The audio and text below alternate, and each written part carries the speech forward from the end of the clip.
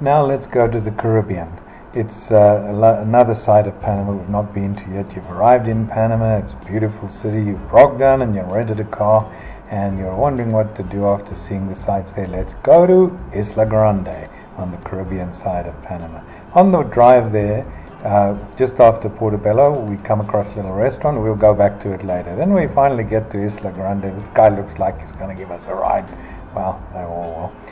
And uh, finally here we are close to the beach and now we're landing on the beach and oh my what a beautiful beautiful sea and beach that is. Uh, by the way um, you really want to go midweek. We went on a Wednesday uh, and uh, in March and it was pretty nice as you can see. Uh, the boys well the young men were at that point still wondering whether they should come with us to Panama but slowly they were, and you can stay overnight by the way. Those are little bungalows. So maybe one or two nights there's not a bad idea, but I'd go midweek because this is what it looks like on the weekend. And you know, I don't really like it. But this I like, and that was Wednesday.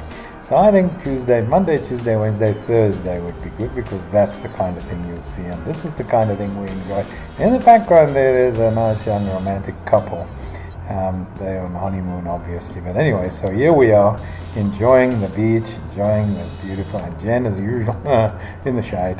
She doesn't like the sun, uh, but we do. Uh, anyway, at the end of the day, back up, go back, and uh, oh, what a lovely day that was. Very well. So we went back to that restaurant, and now we could sit and relax and order some nice food. And uh, man, uh, it was inexpensive and good. fish, of course, for us. It can be anything, but fish is good. And you can sit inside if you don't like sitting outside. Well, Panama, number one in the world for us anyway. Remember to subscribe. This is just to whet your appetites. And uh, there's that young couple on their honeymoon. Eh, takes me back 10 years. But anyway, for now, uh, just dream about this beautiful place. And yes, it can be a day trip from Panama or you can stay overnight or a couple nights. Uh, I'd suggest midweek.